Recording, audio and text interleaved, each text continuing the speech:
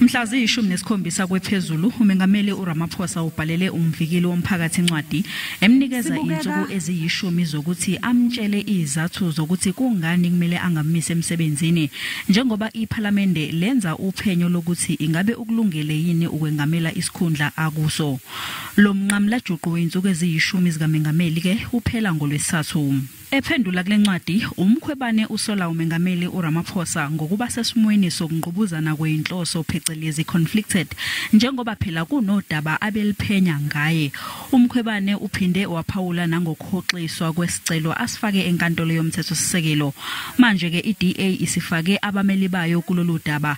Ifuna ukuthi umengameli uRamaphosa amise ngokuphazima kweso umkhwebane.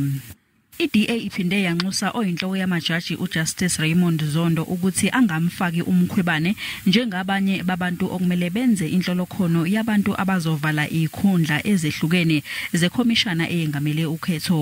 Leli qembu lithi ukufakwa kukamkhwebane kulokhu njengokomyalelo womthethosisekelo kuzoliphazamisa kakhulu uhlelo lokuqashwa kwabantu kulezi khundla njengoba esagutshezelwe yifu elimnyama.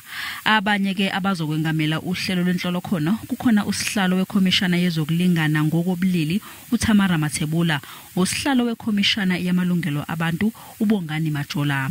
Kulindeleke ukuthi ikhomishana yenze inhlolokhono ngolwesihlanu ikakhulukazi ke yalabo abagaqele esokuba ngusihlalo we-IEC usihlalo wayo uGlenn Mashinini uzobeka phansi intambo mhla ziyishumi nesithupha kumbasa. Waqokwa ngowayengumengameli uJacob Zuma ngo-2015 engena esikhundleni esabe siphethwe nguPhensi Hlakula